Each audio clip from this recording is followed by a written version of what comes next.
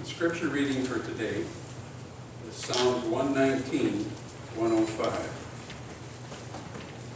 We're reading from the uh, New King James Version. Your word is a lamp to my feet and a light to my path. May the Lord add a blessing to the reading.